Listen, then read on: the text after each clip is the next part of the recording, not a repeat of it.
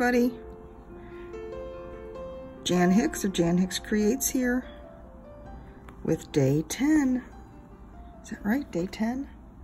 It's too early for me to be getting confused on what day it is, right? Day 10 of Stitch Maynia. It is 8.01 here, 74 degrees on May 10th. And a gorgeous morning it is. I feel like I'm being a little bit quiet this morning. Mike is home from work today. He's worked a number of nine-hour days this week. Um, hasn't really been able to get anything done here at home for his friend coming in this afternoon, so he's like um, taking the day off. So he is sleeping in. He's still, well, he may still be asleep. He's still in the bedroom. I say sleeping in, but he got up probably at 5 or 5.30 to feed a certain cat that's was comes in and tramples all over us when he's hungry. So he got up and did that and went back to bed. But anyways, I have the door to the bedroom closed. Sasha does not like that because after breakfast, he usually goes and gets under the bed and doesn't come out again until lunchtime, basically. So he can't get into the bedroom, so every once in a while he goes over to it and meows at it. And I yell at him, and he stops. So, who knows if Mike is still sleeping. But anyways, I'm going to try and keep this a little shorter today than yesterday. I really don't want to get into half-hour videos. Um, for Stitch Maynia, but I do have a lot to show you today because I'm going to show you what I'm going to be working on over the weekend when I won't be filming videos and actually into next week because I just don't know, you know, what the situation is going to be with um, the friends we have coming in. And I just think it'll be a little bit weird to be up here filming a video when they're doing who knows what here. If they've gone out for an early morning whatever, then I'll probably try and get one in. But in the meantime, first let's talk about yesterday's project.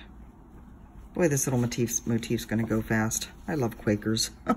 so yesterday, if you recall, and if you watched yesterday's video, I was working on the Four Seasons piece by Soda Stitch. Absolutely love it. And one of the one of the fun little tidbits about this I guess, is that Mike is excited, is excited about this one too. He really wants me to get this one done. So I need to figure out how to put a little more time into it. But anyways, so I am just over here on these trees, right? Oh, stop. So I was working on shading in one of the shades on this tree, and I did decide to work up start working up the building here. So I worked up some white here, and then I did work a little, a large chunk of what you see in this dark tree is black, 310. Oh, and I also started this little window here. Six.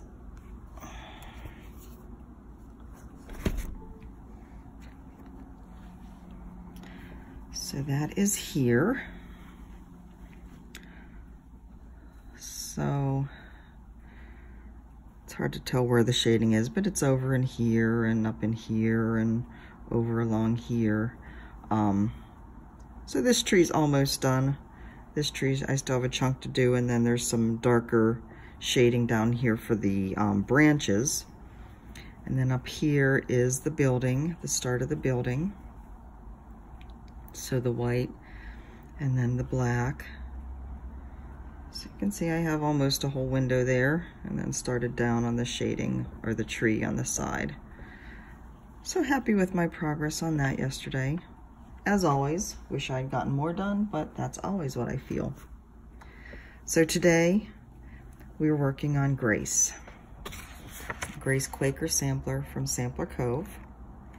This is the one that was the stitch along with Tamara, this Nana Stitches. She has hers done.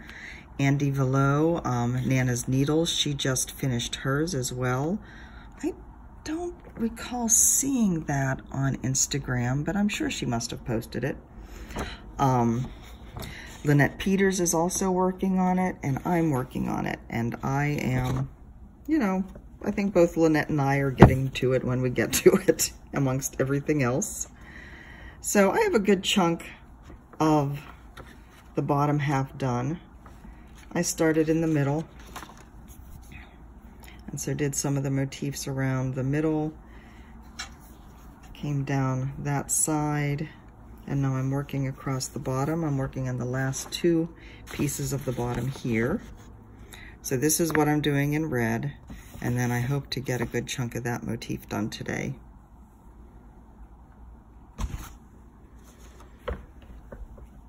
So this is 40 count linen from XJU Designs. The colorway is called Ash Rose. And I fell in love hard with the color as soon as as soon as XJU had posted it um, on Instagram. I knew I needed to get some. And I knew it would be perfect for this. The flosses that I'm using are all Victorian Motto, except for what I'm using for the um, one over one letters. That is Banker's Gray from Gentle Arts. And I'm only using that dark gray for that color. The rest of them are basically shades of gray and then this pop of red.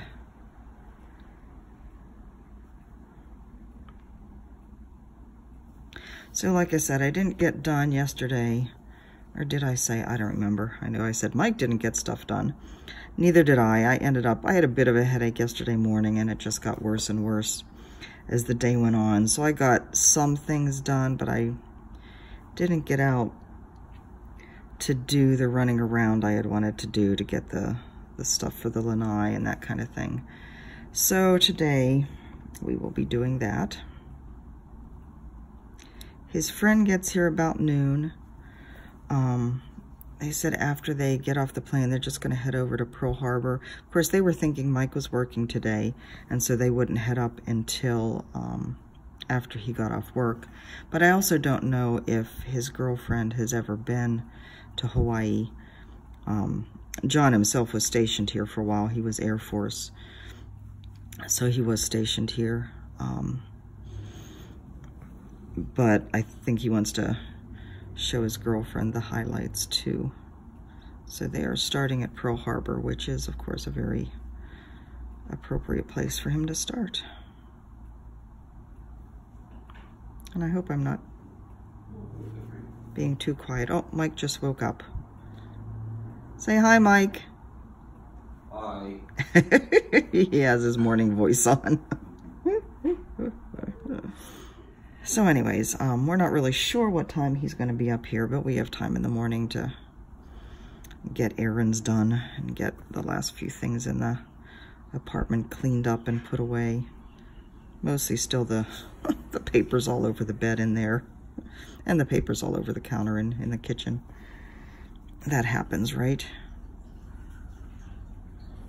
Boy, I think just like that, I'm going to be done with this motif. I love Quakers.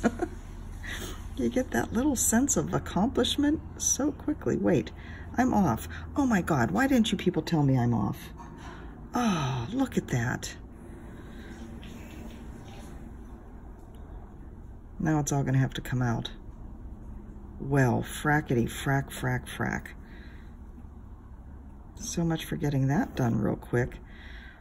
I think, I think Carolyn from um, CZ Stitches made a comment that she loves that I show all my mistakes too and talks about my mistakes. well, we all make them, right? It's part of the part of the game of stitching. Do you see what I did here? I don't know whether you, you're even, you don't see the chart, of course, so you don't know, but the, it's supposed to be symmetrical. And where these two are coming out, see how there's these five in here? This, this is not part of the five. This should be like in the middle of the five. Anyway, yeah. Boy, is that annoying. I was going to have a finish right here on this video. And now I'm not. So those of you that said you don't know how that I how I record and stitch at the same time, obviously I'm not that good. you need to keep to keep to more uncomplicated projects. Anyways, I'm not going to redo this here. I'm gonna keep going on doing it off camera because I do want to talk about everything else. Um, okay, so I had mentioned that Fractal was supposed to be, the Fractal bookmark was supposed to be today, but um, I wasn't going to try and record that because it is more difficult. It is this gorgeous, gorgeous full coverage piece. The free chart from Cross Stitch Collectibles in March. And so this is my start on that. This is 1 over 1 on 28 count Lugana or Jobelin, one of those even weaves. So this will be my project for tomorrow, for Saturday. Sunday, I get back to Green on Green by Karen Kluba of Rosewood Manor. You remember this beauty? Again, another Quakerish motif, although this is a little fancier. This is the one that I'm doing on the burnt bronze fabric from Under the Sea that no longer seems to be available. But I was thinking for this that Havana by Weeks Dye Works might be a similar, it's a, I think Havana's a little bit more gold, but it might give you a similar look to this for those who are interested. And I'm using the Silks for You um, silks that I got. So that is Sunday's piece. And I'm going into the week, or, or no, that's, yeah, that's Sunday's piece. I'm going into the week because, like I said, I don't know what recording I'll be able to do. Monday is the Lighthouse Guiding Light. This is the kit I got from my bobbin that I replaced the fabric with this 100% hemp. And I just have the little center, if I can find the camera, the center of the lighthouse there started. So hopefully I will get a more chunk of that done. And then I have a whole stack of stuff.